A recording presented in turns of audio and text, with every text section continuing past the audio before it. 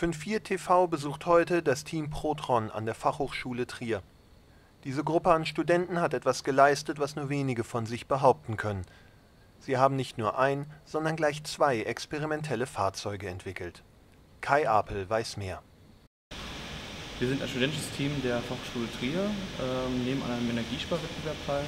Ich persönlich, mein Name ist Kai Apel, ähm, studiere Maschinenbau, habe meinen äh, Bachelorabschluss in Allgemeinen Maschinenbau absolviert und bin in der Orientierungsrichtung äh, Fahrzeugtechnik am Studieren. Der Marathon hat das Ziel, mit so wenig Energie wie möglich eine möglichst große Reichweite zu absolvieren. Sprich, ähm, es wird eine vorgegebene ähm, Strecke, muss äh, absolviert werden in einer vorgegebenen Zeit und ähm, der Verbrauch der Fahrzeuge wird dann ermittelt und daraus wird dann ein, ein Ranking der verschiedenen Fahrzeuge hergestellt. Wir haben 2006, 2007 äh, begonnen, den Proton zu entwickeln. Das ist ein, ein reines Rekordfahrzeug. Ähm, soll es darstellen, ähm, wie weit man heutzutage mit dem Energieäquivalent von 1 Liter Benzin kommen würde. Ähm, es soll gezeigt werden, wie viel ähm, Gewicht wir in, in, Sicherheitskonzepte und in Komfort ähm, stecken.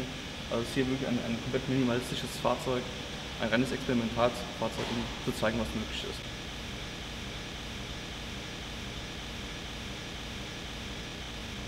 Nachdem wir ähm, zweimal erfolgreich mit dem Protron auf dem, auf dem äh, Shell Eco Marathon waren, ähm, kam dann die nächste Idee, die ganze Technologie etwas weiterzubringen, ähm, etwas straßennäher das Ganze zu konstruieren. Und ähm, schließlich kam im, im Oktober 2008 kam dann der Gedanke, in, in eine weitere Kategorie, in eine weitere Klasse des Marathons einzusteigen.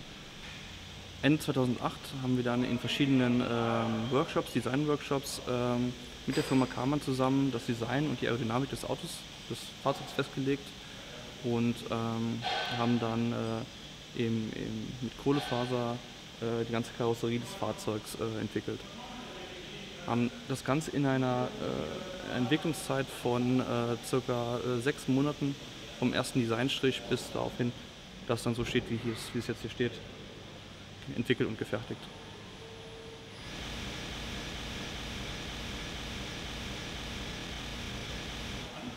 Ja, mein Name ist Philipp Lerland.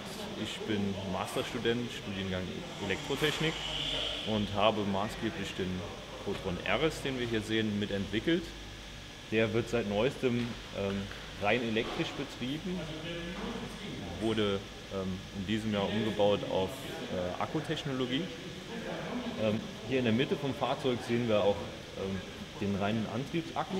Der ist recht klein ausgelegt, wiegt so wie er hier zu sehen ist in etwa 4 Kilo und reicht, um dieses leichte Fahrzeug in etwa 50 Kilometer weit zu bewegen. Das reicht vollkommen aus für den Marathon da wir auch kein unnützes Gewicht mitschleppen wollen und auch nur unsere maximale Reichweite ähm, zurücklegen wollen. Ähm, mit dem Fahrzeug konnten wir beim letzten Marathon eine Reichweite von über 2000 Kilometer erreichen mit der Energie, die üblicherweise in einem Liter Superbenzin steckt, hatten dadurch einen umgerechneten CO2-Ausstoß von weniger als 2 Gramm und sind damit ganz vorne in der Welt, was diese Urban Concept Fahrzeuge angeht.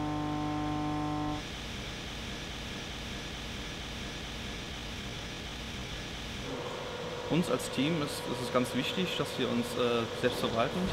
Wir ähm, müssen uns die Mittel für die, die, Fahrzeuge herzustellen selbst besorgen, also Sponsorenakquise, ähm, sind auch hier von zahlreichen Firmen äh, regional vertreten, aber auch überregional. Ähm, die Fachhochschule Trier zum Beispiel stellt uns die ganze Infrastruktur die Maschinen. Im Hintergrund hören Sie sie vielleicht, die eine Fünfachsfräse. Aber darüber hinaus haben wir auch Drehbänke, Wasserstrahlschneider, alles was wir quasi brauchen, um, um Fahrzeuge herzustellen und zu optimieren. Im weiteren Verlauf dieses Projektes wollen wir ein, uns ein bestehendes Fahrzeug aus der Industrie beschaffen äh, und an diese Basis auch elektrifizieren. Es gab schon einige Projekte dieser Art. Äh, es gab beispielsweise ein Projekt mit einem, einem A2. Äh, und in der Art wollen wir dann auch da zeigen, was wir als Team können, was unsere Hochschule äh, leisten kann und uns dann auch da international messen.